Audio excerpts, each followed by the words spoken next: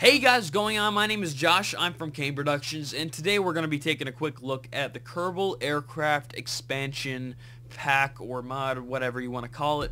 So what this mod basically adds is some old-fashioned aircraft uh, parts with the uh, propellers and stuff, and also it adds, as you can see right here, the ability to make um, helicopters and stuff. You got rotors added and the, the tail rotors there. And we're going to take a quick look at this, all the parts. So first let's start off by saying it does add one piece to your utility and that's the heavy gear assembly uh, wheels right there. They're great for making huge aircrafts.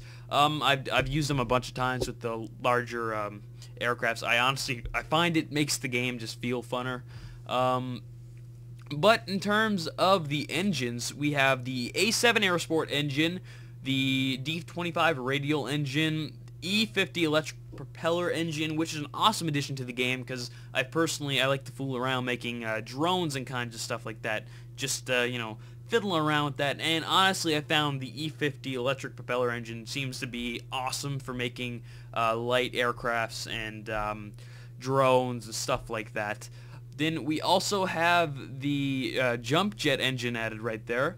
The main rotor, as you can see there, and you have your tail rotor, and one last thing, the PT-100 turbo prop. So let's go ahead and take the Kane copter for spin and see how all of this mod um, really fares out to be. Alright guys, we're going to take the Kane copter for a spin now. We're going to go ahead and start the aircraft up.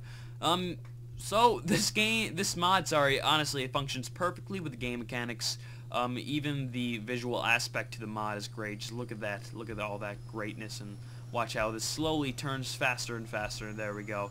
So honestly, guys, I give this mod a 10 out of 10. I don't know. Maybe this game, maybe this uh, mod should even be in the uh, game already. I really hope they add something like this in the future because I personally I love doing these helicopter things and all kinds of crap. So if you if you guys like this mod, obviously, um, go ahead and click the link in the description. Make sure you download it. Um, install it. If you don't know how to install it, I also made a video on how to do that. It's really quick, just two minute video. So if you like this video, guys, though, go ahead hit the like button, and just uh, I'll see you guys next time. Hope you enjoyed.